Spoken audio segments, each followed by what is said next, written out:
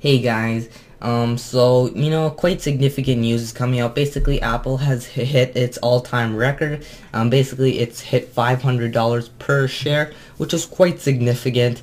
Um, now this comes, this is after, this is a quarterly, um, this comes after a quarterly meeting about a week ago. Um, basically, it, it rides 17% um, since that quarter one meeting.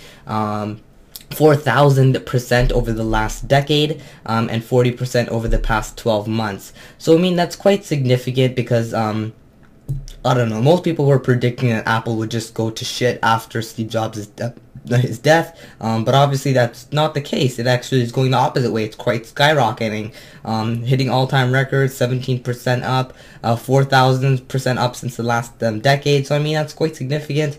Um, I don't know. I, I think, uh, um, I, I think Apple is heading in a good direction, but I guess it's too quick to judge maybe. Um, so anyways, we'll see how this all turns out, but uh, I think Apple might be in a, you know, a good uh, situation going on. Um, so anyways, comment, rate, and subscribe.